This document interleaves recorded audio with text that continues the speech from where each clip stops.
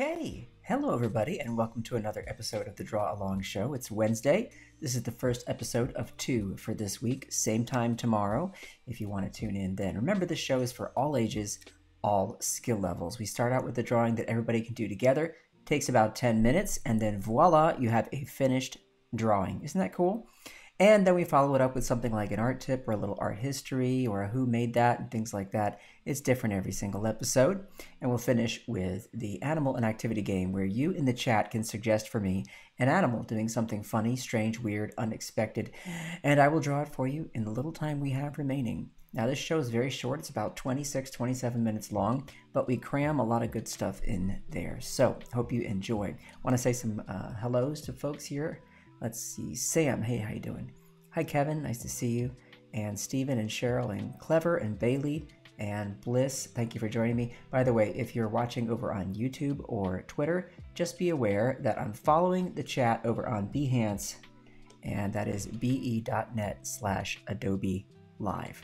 Okay? Now, you you can continue watching the show wherever you like. If you're on Twitter or YouTube, that's fine. But if you want to talk to me, if you want to make suggestions for the animal and activity game, if you want to ask questions during the show, head on over to Behance so I can read them. All right, folks. Well, you know, it's been uh, an interesting little break there. We had a little Thanksgiving holiday here where I live, so there were no draw along shows last week. Apologize for that. Um, but we're back in action. Uh, speaking of Thanksgiving, what did the turkey say to the computer? Google, Google, Google. You thought that maybe after Thanksgiving the jokes would get better. Sorry that you were mistaken, and now it is time to draw. Okie dokie, you need something to draw with. Grab yourselves a pencil, a pen, a marker, a crayon, or a nice turkey bone that you can dip in some ketchup and draw all over the place. Maybe dip it in some cranberry sauce. That might be nice. Uh, you can draw on your parents' favorite carpet, their wall, whatever. I'm not going to judge, but they might. Uh, to do these drawings, remember you have to be able to do three very simple things, and they are a straight line, a zigzag, and a curvilinear line. Okay, now that could be an S curve or a C curve, could be a shallow one could be a little tighter like that. You can do these, I know you can. And that is why we can draw together and everyone winds up with a decent drawing at the end. That's how this show works. Today's drawing, we're going to start with a horizontal line like that. Okay, I'll zoom in a little bit so everybody can see clearly. Uh, how long is that line, Kyle? Well, on your paper, maybe about half an inch or maybe like, you know, a centimeter, something like that. Um, could be a little longer, two centimeters. Could be an uh, inch and a half. I don't know. Draw it a comfortable size for you. Don't draw too tiny, though. It's going to be hard to get the little details in there. Okay. Um, if, if you're looking at a clock, and I want you to imagine the uh, hour hand is facing the 7. Okay, so 6 is at the very bottom, and then a little to the left is a 7. That's the angle we're going to draw now. Check it out. We're going to go like that. Okay? So it's like 6 o'clock is down here, and we're swinging over to that 7 o'clock. How long is that line? Well, it's about, ooh, I don't know, half the length of the first line, or maybe slightly longer. Okay? Good to do these comparative measurements. That's what we do. Hey, nice to see you, Z. Thank you for joining us. Hello, hello, hello. Um, by the way, Z's real name is Rick. Not sure why it always says Z. But this is the thing about the chat. You don't know what's going on. Umacorn, how you doing? We're not drawing any of those crazy storks today, Umacorn. Sorry to disappoint you. All right, we're going to draw a straight line that goes back this way. Now notice that this line moves back further than the first line we drew, right? So the first one is here, the second one is traveling back further. Okay. Now, right here on this diagonal line, I want you to draw a little scoopy line like this. Scoop it up like that, okay? That's it little scoopy. Okay, and then here we're going to start drawing with another line that uh, goes up at an angle. And if you think about a clock, I would say for this one, maybe you're doing like um, 11 p.m., you know, 11 o'clock. Why would I say p.m.? I, listen, I've had a long day, folks, and not enough coffee. Ay, ay, ay, ay, ay.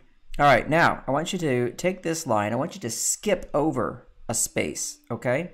This is how much space I'm going to give you. About to there, make a little dot. See that right there? And here we're going to draw a line that is going to come up past that first line right to here. I'm going to make another dot for you. Bam, like so.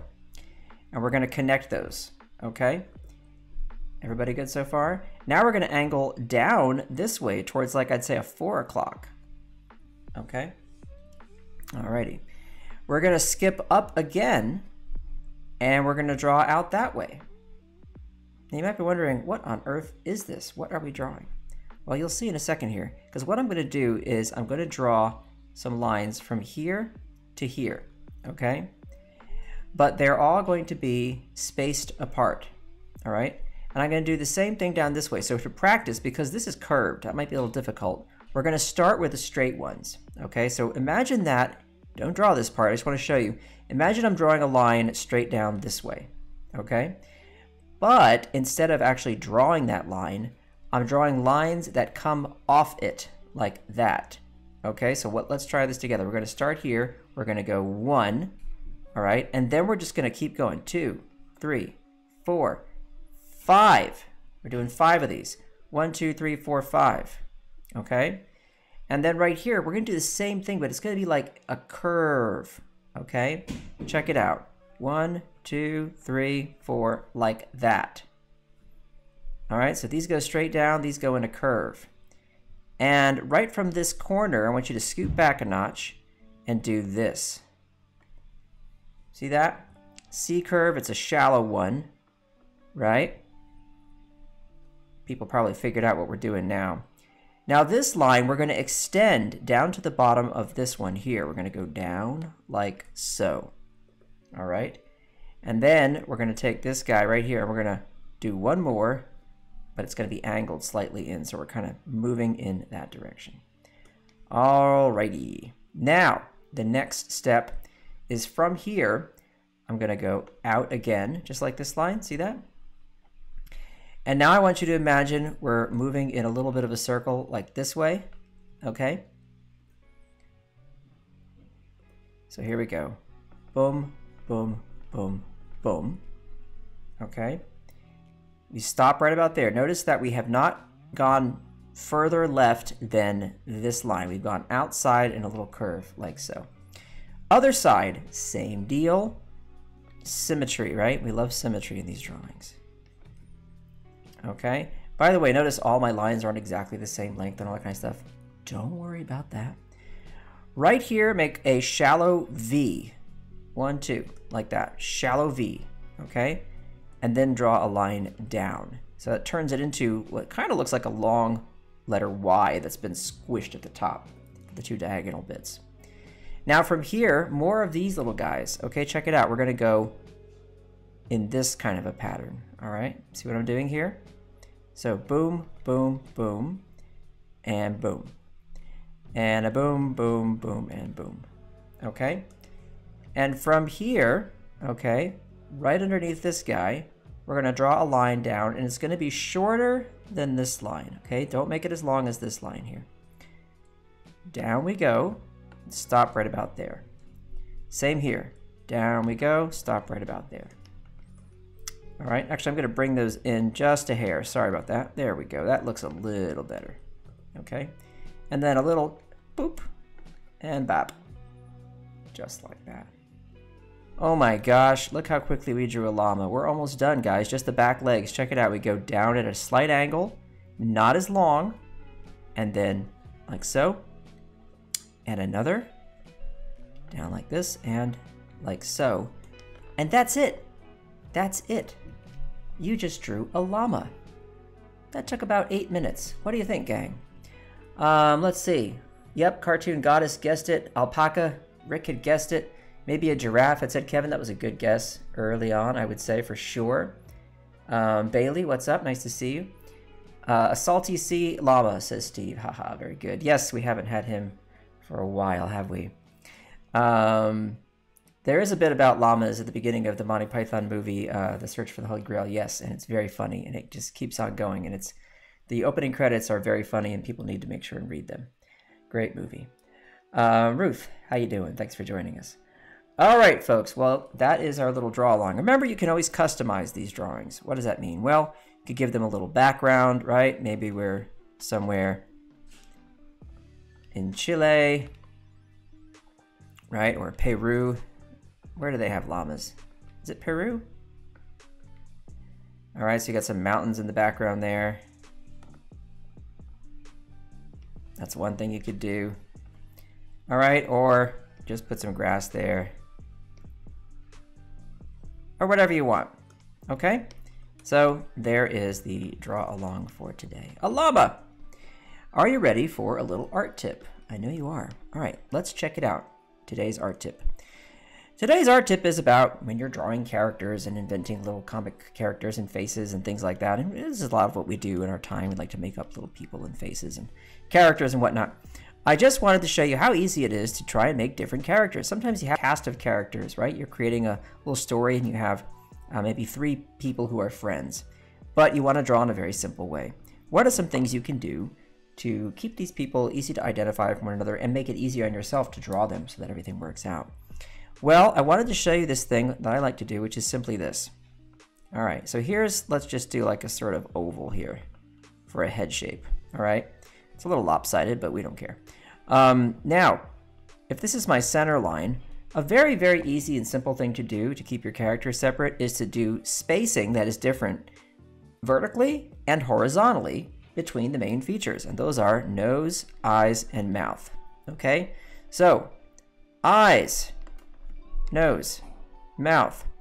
If I move the mouth up or down, move the eyes closer together or further apart, move the nose up or down, I get different characters. So check it out. This person's going to have eyes out here, nose right here, and a mouth down there. Okay? And let's take that same character slide it over here. And all we do is we just change that spacing. Okay, let's do eyes close together. Okay, nose down here and mouth off to the side like that. Okay, totally different character. Same number of lines. All right, let's do it again. This time I'm to move things a little lower for the eyes, okay? Start the nose up here and just do a bigger nose like that. And then for the mouth, I'm gonna do a really small one. All right, one, two, three. Totally different characters. We haven't even talked about hairstyles, what the ears look like, things like that. We haven't bothered with eyebrows, none of that nonsense. What we're trying to do is just establish what is the basic relationship between these main features. And by simply pushing or pulling in any direction, up, down, left, right, okay, and deciding what the spacing is between those three areas, eyes, bottom of the nose, okay, and the mouth, you have different characters, okay? And this can make, a, make it really easy for you to build up this little vocabulary, this character vocabulary, if you like, um, for the stuff that you're doing. So if I were to take this a step further, right, I would start playing with head shapes, all right? So maybe instead this guy, I'm gonna take him and we're to do this. We're to make more of a sort of a square shape, okay? And we're just to have hair at the top that's little dots like this. All right, but same basic proportions as before, all right? And so I decide, okay, this is this guy, and I like that square, so I'll carry that through with the ears, right? There we go. There's one person. And then what I can do is I can continue to play around with head shape, right? With maybe this person's features, right? And so I'm going to do more of sort of a down and up kind of a shape. Okay, and then bunch of nice curly hair around this person. Same features. Let's just take them and, and just move them over here like that. Pop. There you go. All right.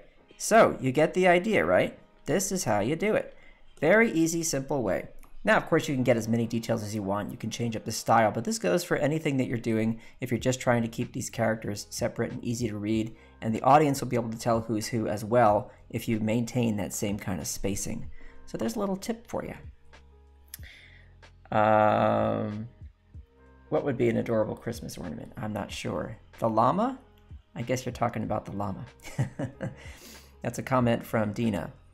Um, alrighty, so there's your art tip for the day. Keep that in mind. Keep your characters separate from one another and make it easy for yourself so you're not struggling. All right.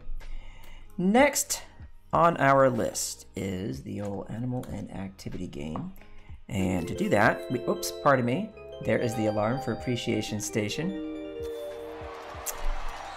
Well, well, well. Today we are appreciating our good friend in the chat, Cheryl. Cheryl, thank you for watching the show. Now, quick story about you. Um, I remember that one time you tried to start an art academy for turkeys. Now, everybody thought you were crazy. They said that's never going to work. And sure enough, uh, there in that first uh, week or so, the feathers were flying, paint was being eaten, and it was a real mess. And uh, I thought, you know, I believed in your vision, but I thought this one maybe isn't going to work out until you showed them some paintings by Audubon. Bingo.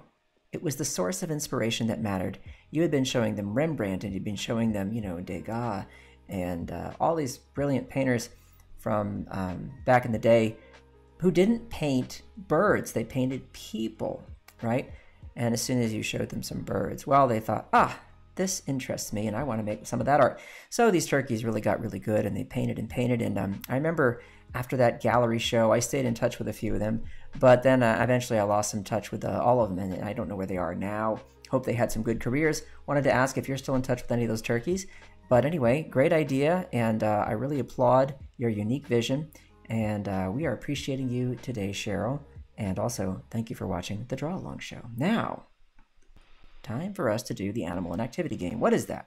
You have to suggest for me an animal doing something funny, strange, weird, unexpected, bizarre, and I will draw it for you in the time we have remaining, which is about nine minutes. Okay, well, maybe eight minutes.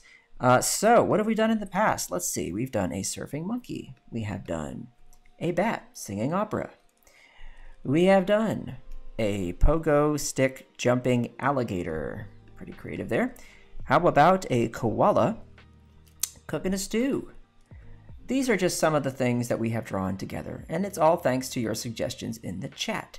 So today we need some new ones, some fresh ones, and let's see what we can draw. I'll get my light blue uh, color here for sketching. And there it is and we're ready to go. Now, some suggestions are coming in. Oh, I see one right away that I want to do. Misty. Frankenstein dressing up as Santa, playing Santa. I love it. I'll read some others out to you. Um, Steve has suggested a reindeer in a big, comfy chair, relaxing. Already in a festive mood, I see. Uh, Kevin has also suggested a lion on a bicycle. Very nice, very nice. Um, and Cheryl, by the way, is catching us up on the situation with the turkeys. She is not in touch with the turkeys, unfortunately. But that's okay. Still, they learned a lot from you, and I know that they're very happy. I'm sure they are. Uh, like I said, Misty, I have to say that is a really fun idea. So I'm going to do this. It's Frankenstein playing Santa. Let's try this out. All right, so we're going to have Frankenstein with that long head shape, right? We're just talking about head shapes a second ago, weren't we? Just talking about it. Make sure we get those bolts in his neck.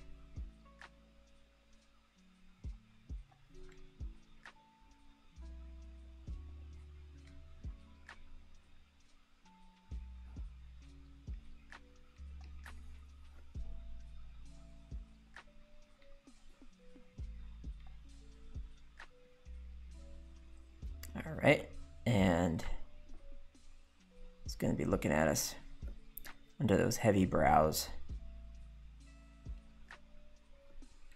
We'll have that Santa hat just kind of falling off the back there.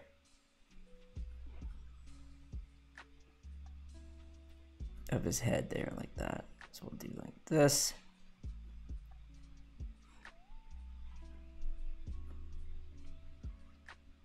Give it a nice fold. And we're going to have him walking with a, a present under his arm. How about that?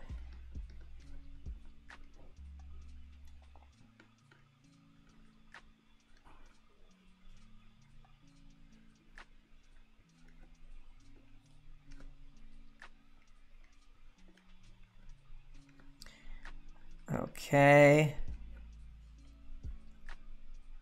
We'll have a bit of the the ribbon sticking out there for the full effect so we know what's going on. Okay? And let's get that collar up a bit higher. I guess we won't see the bolts if I do that, but that's okay. We don't need to see them. We know it's Frankenstein. Put a nice scar across the forehead there for where uh, Dr. Frankenstein put in the Abby normal brain for all you young Frankenstein fans out there.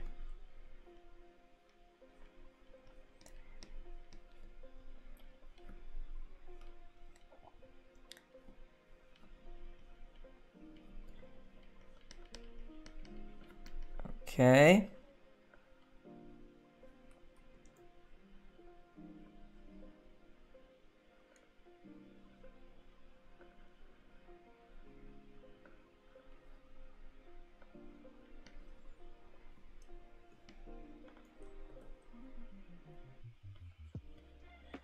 Get this coat up here, flaring out. Okay. It's funny to give him some little skinny legs.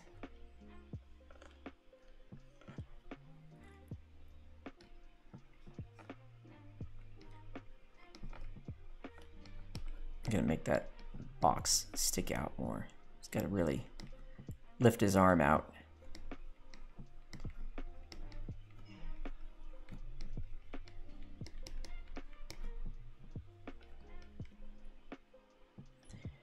He's got to have those big Frankenstein shoes, boots, whatever. Right? Okay. Gonna have to shrink this guy since we're running out of room. There we go. Isn't it great to be able to do that so easily in, in a digital environment? Oh my gosh, yes it is. I'll throw that leg back a little farther.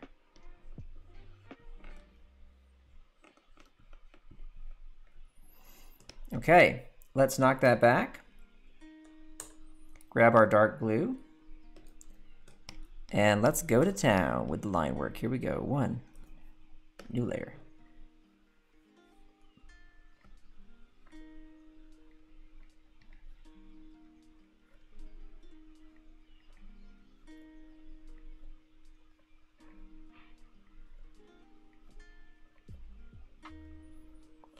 There's that big Frankenstein brow.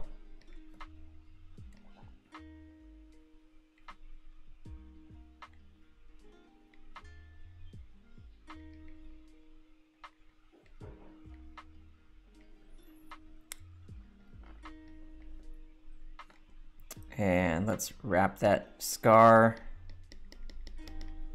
around there. And here's our Little Santa Claus hat right there. See how handy a sketch is? Boy, I would be lost without it, right? Now you don't have to stick to it like it's the law of the land or anything, okay? Remember that. But it is so helpful and will make the the rest of the drawing just kind of fall right into place, you know? Drawing without a sketch. Whew, I mean, I've done it. I have done it, but I'll tell you, sure is tough. I Don't know where you're going next, you know? Everything's a kind of a guessing game. But with a sketch, I know where I'm going. A little roadmap, you know? Really helps.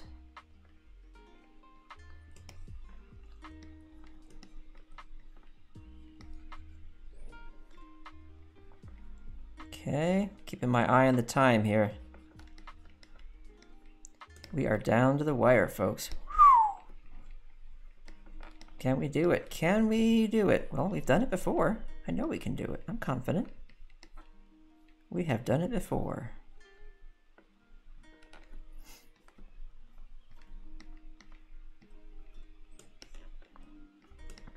And a one and a two. And here are those big old boots.